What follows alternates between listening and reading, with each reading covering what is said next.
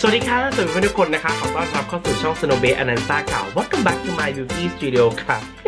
คุณผู้ชมครับวันนี้กลับมาเจอกับน้อง Snow b a s e อีกแล้วนะคะ วันนี้เบสกลับมาเจอกับคุณผู้ชมในช่อง Snow b a s e อนันซ่าเพราะนี่คือหนึ่งวิดีโอที่คุณผู้ชมเรียกร้องกันเข้ามาค่ะ คุณผู้ชมจำได้ไหมคะ เมื่อไม่กี่วันที่ผ่านมาเนี่ยใครที่ติดตามเบสทางเอ่อ Facebook นะคะ คุณผู้ชมก็จะเห็นว่าเบสเนี่ย up รูปหน้าเบสลงไป แล้วคุณผู้ชมก็แบบ ชอบ แล้วก็มีคน inbox กันเข้ามาว่าอยากให้สอนแต่งหน้าในลุคนั้นวันนี้เบสก็เลยกลับมาในสตูดิโอแล้วก็สอนคุณผู้ชมแต่งหน้าลุควันนั้นที่เบสแต่งบนหน้าเบสในวันนี้เบสจะเปลี่ยนตัวเองจากแบบนี้ค่ะ เออมันเป็นแบบนี้นะคะคุณผู้ชมซึ่ง สิ่งต่างๆ มันไม่ยากเลยนะคะ แค่ทุกอย่างที่เบสทำในวันนี้เนี่ยมันคือขั้นตอนที่เบสเนี่ยได้เรียนรู้ด้วยตัวเอง ซึ่งมันอาจจะไม่ได้ถูกต้องตามหลักของเมคอัพอาร์ติสทั่วๆไปนะคะ แต่นี่คือสิ่งที่เราทำแล้วเราชอบนะคะ และนี่คือสิ่งที่เราทำแล้วเราอยากจะแชร์ให้เพื่อนๆทุกคนนะคะ ซึ่งเบสคิดว่า makeup ทั้งหลายในวันนี้เนี่ยเป็น makeup ที่คุณผู้ชมสามารถหาซื้อได้ ไม่ว่าจะเป็น Sephora หรือ drugstore นะคะคุณผู้ชมคะและที่สำคัญคือเป็น look ที่ basic ง่ายๆมากแต่คุณสามารถแต่งออกจากบ้าน และทำให้คุณดูสวย แล้วก็มั่นใจได้นะคะคุณผู้ชมคะซึ่งใครที่เพิ่งมาดูน้องสโนว์เป็นครั้งแรกก็อย่าลืมฝากกดไลค์กดแชร์กด subscribe อย่าลืมกดกระดิ่งด้วยนะคะคุณผู้ชมจะได้รับการแจ้งเตือนเป็นคนแรกๆเวลาเบส up วิดีโอนะคะ ถ้าคุณผู้ชมพร้อมแล้ว ไปรับชมได้เลยค่ะคุณผู้ชมคะขยับเข้ามาใกล้กันนิดนึงนะคะ คุณจะได้เห็นกันชัดๆนะคะ ว่าดิฉันเริ่มขั้นตอนยังไงบ้างนะคะ เบสได้มีการ prep ผิวเป็นที่เรียบร้อยแล้วนะคะกับ skincare แล้วก็ครีมกันแดดนะคะเดี๋ยวจะมา prime ผิวเพื่อที่จะเริ่มการแต่งหน้ากันนะคะ ส่วนในการ prime ผิววันนี้เบสใช้ primer สองตัวจาก Beauty Blender นั่นเองนะคะ ก็คือเป็นอันแรกเดี๋ยวจะใช้เป็น The Leveler ก่อนนะคะ ซึ่ง The Leveler นี่จะช่วยในการที่จะ cover รูขุมขนต่างๆ บนใบหน้าของเบสนะคะไอจริงใช้เยอะมากชอบมากอันนี้นะคะเบสก็จะ cover ไปตรงที่เบสมีรูขุมขนแล้วเบสคิดว่าตรงนั้นเนี่ยจะเป็นปัญหาผิวนะคะก็จะเป็นตรงนี้นะคะ ก็รูขุมขน จะใช้นิ้วนางเบสจะชอบใช้นิ้วนางก็คือการกดแล้วก็แท็บแล้วก็ลากไปเบาๆนี่นะครับเพื่อเหมือนกระตุ้นให้ผิวมันแบบว่ารู้ว่าโอเคฉันกำลังจะแต่งหน้าแล้วนะแก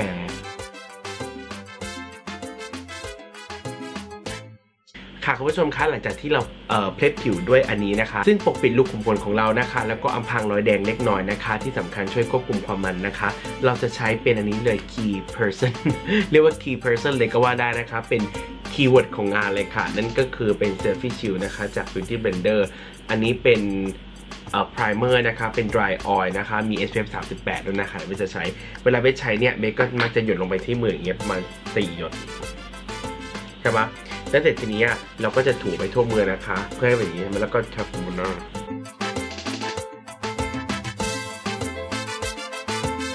คุณผู้ชมคะออยมันก็จะซึมไปบนหน้าแล้วก็จะแห้งทิ้งแค่ ความฉ่ำนะคะ ไม่ใช่ความมันก็คือความที่ฉ่ำเวลาเราถ่ายรูปเนี่ยแสงแฟลชมันก็จะได้ไม่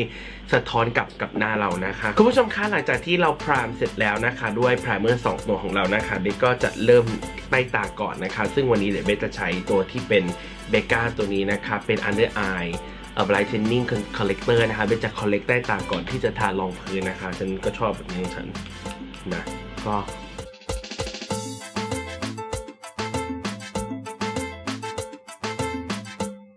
คุณผู้ชมไม่ต้องตกใจว่าเอ๊ะขาวขนาดนี้นะคะ ไม่หรอกค่ะเดี๋ยวเรามีวิธีนะคะ แล้วก็จะใช้ Beauty Blender นะคะ ในการที่จะเกลี่ยเขาค่ะ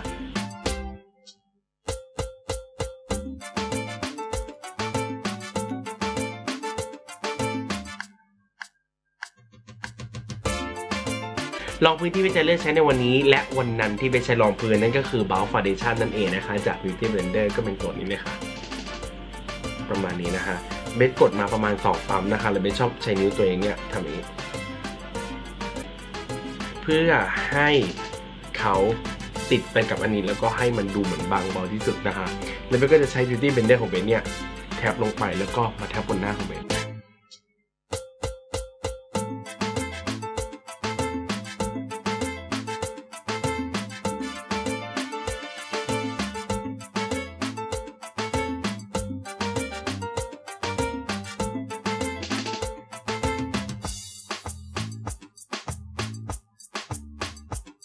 คุณผู้ชมเห็นไหมว่าพอที่เราแต่งหน้าไปแล้วเนี่ยผิวเราก็ไม่ได้แมตต์เกินไป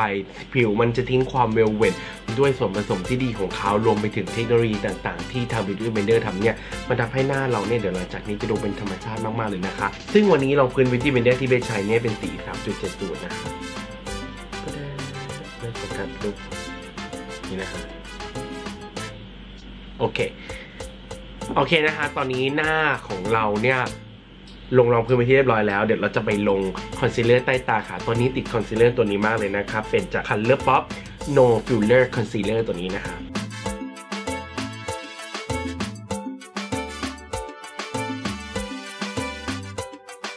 แล้วก็ใช้ sponge ของ Beauty Blender นะฮะ ก็ blend เข้าไปครับ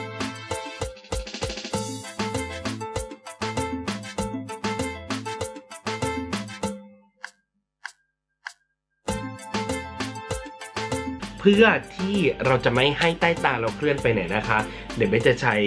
เอ่อ Revolution Luxury Baking Powder นะคะ เป็นสีบานาน่าจากเอ่อ Revolution นะคะ เพื่อที่จะเบคใต้ตาสักนิดสักหน่อยนะคะคุณผู้ชมเห็นไหมเอ่ยคุณผู้ชมคะเดี๋ยวจะใช้แปรง Huda Beauty นะคะเป็นแปรเป็นแปรง Face Bake and Brain นะคะ จะใช้ฝั่งนี้นะคะ จุ่มแป้ง Baking Powder ลงไปค่ะ ให้มันลงไปในในแปรงนะคะ แล้วเราก็จะเคาะออกนิดนึงค่ะนะฮะคุณผู้ชมเคาะออกแล้วก็หลังจากนั้นเราก็จะเริ่มเบคเบคจะเบคเบคจะทานฝั่งขวาเบคก็จะเบคฝั่งขวาก่อน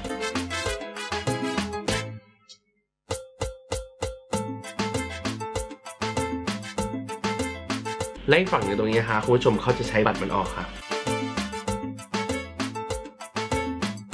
ย่าเห็นไหมคุณผู้ชมก็ตอนนี้ได้ใต้ตาที่เรียบเนียนแล้วเดี๋ยวเราจะใช้ bronzer ครีมจาก Huda Beauty อันนี้นะคะ Tantour เพื่อเป็น contour ครีมชั้นแรกก่อนค่ะคุณผู้ชม ก็นะฮะคุณโอเคนะคะ เดี๋ยวใช้ foundation brush อันเล็กๆ อันนี้นะคะของ Estee Lauder นะคะแล้วก็ใช้แปรง PS Cosmetic อันนี้นะคะเพื่อที่จะเกลี่ย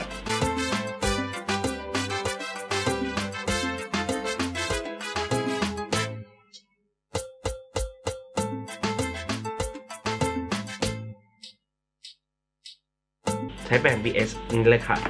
แท็บแท็บเข้าลงไปอย่างนี้นะคะ แล้วก็เราจะไปที่หน้าผากของเราค่ะ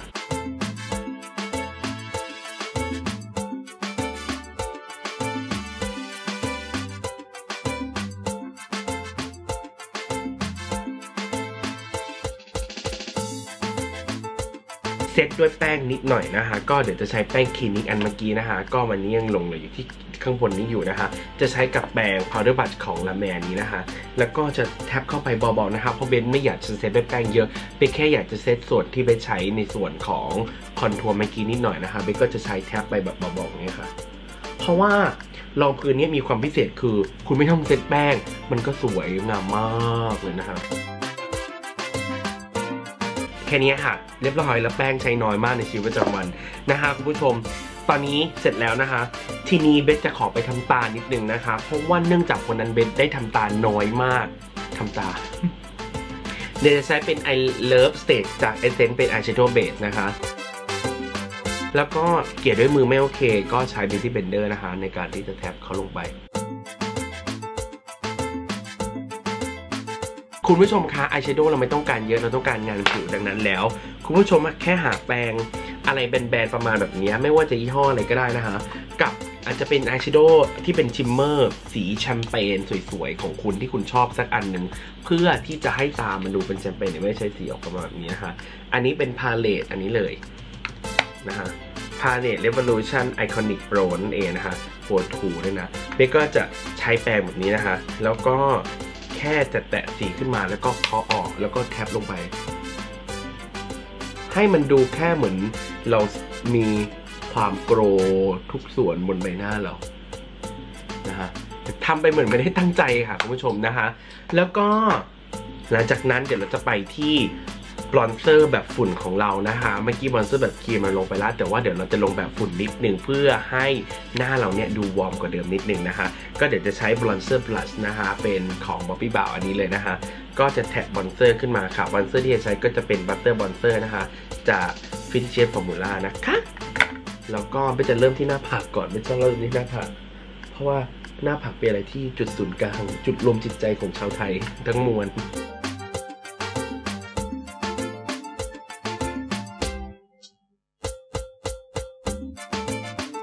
อ่าเนี่ยฮะคุณผู้ชม เสร็จแล้วเห็นไหมหน้าเราก็จะดูบลอนซ์แล้วก็ยัง glow อยู่นะคะ step ถัดไปเบก็จะใช้เป็น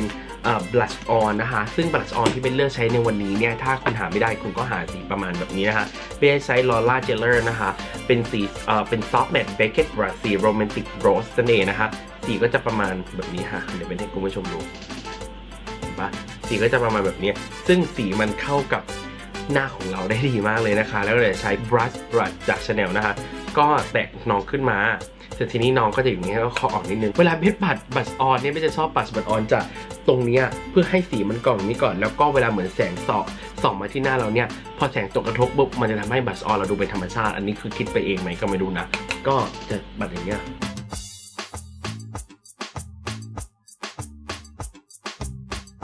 เพราะว่าเนื่องจากบลัชออนสีใกล้เคียงกับ bronzer ไม่ได้ต่างกันมาก เพราะฉะนั้นหน้าเราก็จะไม่ได้ดูลอยขึ้นมาแต่อย่างใดเลยนะคะคุณผู้ชมก็ยังสวยอยู่นะคะ step สำคัญคือการที่เราจะต้อง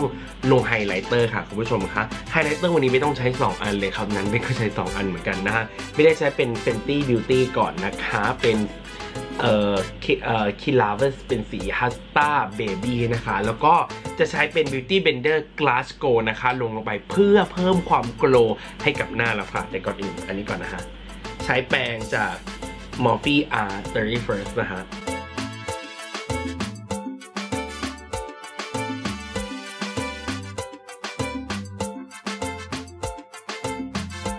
คุณผู้ชมคะนี่คือเป็นไฮไลท์แบบฝุ่นนั่นเองนะคะ คุณผู้ชมแต่ว่าเบสจะเพิ่มความโกรให้กับหน้าให้ถึงที่สุด เบสก็จะไปด้วย Beauty Blender Glass Go อันนี้นะคะ ก็จะบีบ Beauty Blender Glass Go เนี่ยใส่มือเราตรงนี้เลยนะคะ แล้วก็เบสเนี่ยก็จะชอบวอร์มให้มันเหมือนติดผิวไป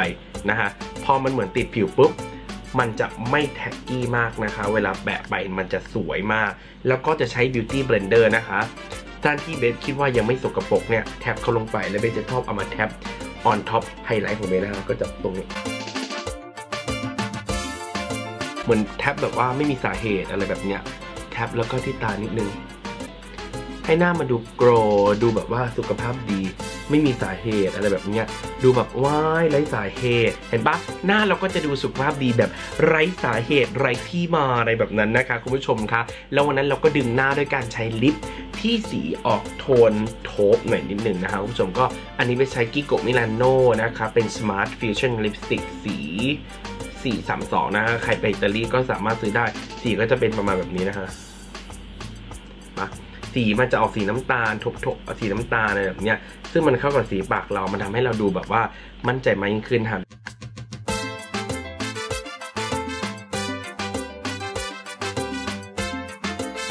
เห็นไหมฮะคุณผู้ชม แล้วก็เพิ่มความฉ่ำสีคล้ายกันเลย อันนี้ก็คือ Fenty Beauty นะคะ อันนี้เป็น Fenty Glow นั่นเองนะคะ ก็จะทา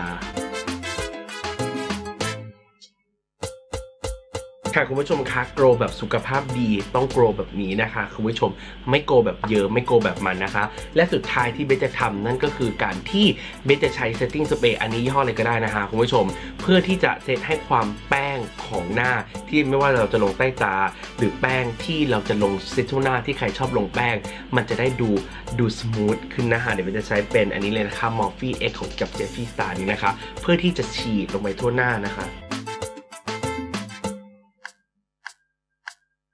แล้วก็เสร็จแล้วค่ะคุณผู้ชมค่ะ และนี่ก็คือหน้าในวันนั้นที่คุณถามนะคะอะคุณค่ะนั่นก็จบไปเป็นที่เรียบร้อยแล้วนะคะ เห็นไหมคะว่าจริง ๆ แล้วมันไม่ยากเลย ขั้นตอนทุกขั้นตอนทุกสเต็ปที่เบสทำในวันนี้เนี่ยมันคือขั้นตอนที่เบสเนี่ย ใช้จริง ๆ เลยในชีวิตประจำวันนะคะ แค่วันนี้มาแชร์คุณผู้ชมนะคะ ดูว่าจริง ๆ แล้วเนี่ยการแต่งหน้าให้ดูผิว glow อย่างเป็นธรรมชาติแบบที่เบสชอบเนี่ยเป็นยังไงนะคะ แล้วก็ผลิตภัณฑ์ต่างๆ คุณผู้ชมก็สามารถหาซื้อได้ ไม่ว่าจะเป็น Sephora ที่เราเข้าประจำหรือร้าน drugstore นะคะ สิ่งใดที่หาซื้อไม่ได้ดิฉันเชื่อฝีมือของคุณค่ะว่าคุณสามารถหาซื้อได้นะคะอย่าลืมค่ะถ้าชอบคลิปวิดีโอนี้อย่าลืมกดไลค์กดแชร์กด subscribe ให้เบสด้วยนะคะ กดกระดิ่งก็ดีค่ะคุณผู้ชมจะได้รับการแจ้งเตือนเป็นคนแรกๆสำหรับวันนี้ค่ะเรายังคงคอนเซปต์เดิมนะคะ Don't let your beauty closet empty ค่ะ อย่าปล่อยให้โต๊ะเครื่องแป้งหรือเคาน์เตอร์เครื่องสำอางที่มันของคุณเนี่ยว่างเป็นขาดค่ะ because beauty is an experience ค่ะ เพราะความสวยคือประสบการณ์สำหรับวันนี้ขอบคุณทุกคนนะคะ ที่ติดตามรับชมมาจนจบ ไปแล้วดีกว่า เจอกันใหม่คราวหน้า สวัสดีค่ะ